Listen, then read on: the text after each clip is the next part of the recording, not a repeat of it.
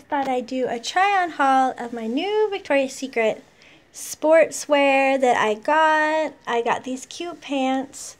They fit really, really good. They're a size small, but they fit absolutely perfect. And I got this cute top that it's a Victoria's Secret sport. Trying to show it to you guys. It just fits really cute. It has Victoria's Secret sport logo right there. Kind of having a hard time showing it to you.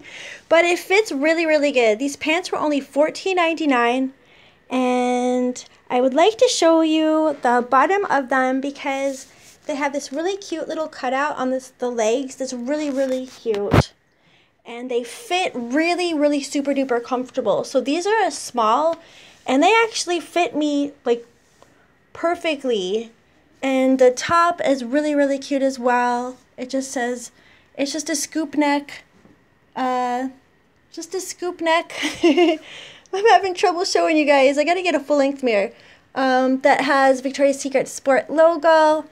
And it just fits really super duper cute. I'll try to show you the back. I don't know if I'm able to do that. I'm gonna try. I don't know if you saw it, but that was just my mini little haul. I'll see you guys tomorrow.